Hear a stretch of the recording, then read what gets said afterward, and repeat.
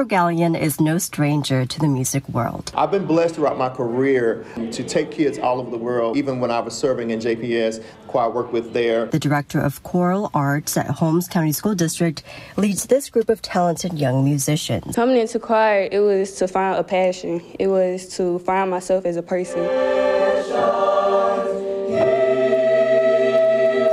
The competitive program is no easy feat. Really, I wasn't going to come at first, but G, he he brought me into it, and my sister and brother, they was in here. My sister was the student director of last year's class and also the valedictorian. Showing that hard work, perseverance, and dedication pays off. This year in April, these Holmes County Central singers are heading to the Big Apple to perform at one of the most prestigious music venues, Carnegie Hall, and they need your help to raise at least half of their $50,000 campaign. I was stoked.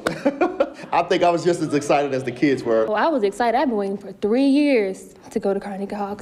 Three years since the pandemic stalled plans. Nevertheless, committing countless hours, the Holmes County Central Singers have grown tremendously over the years for this moment on the big stage. I just didn't really know how to feel, honestly, because I never thought that, you know, with us being such a small county, I never thought that we'll be recognized that much. I just feel very excited because we worked really hard to get to this spot.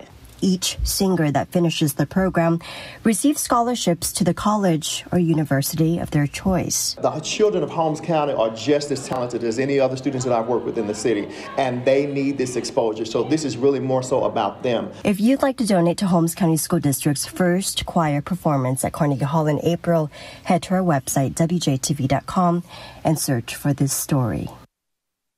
Well, Gallion emphasizes he does it for the students. The Holmes County Central Singers will get the chance to show off their talents at the Mississippi State Capitol this Thursday, February 2nd. And if you know of a school doing something cool, well, just let us know with the email address listed below.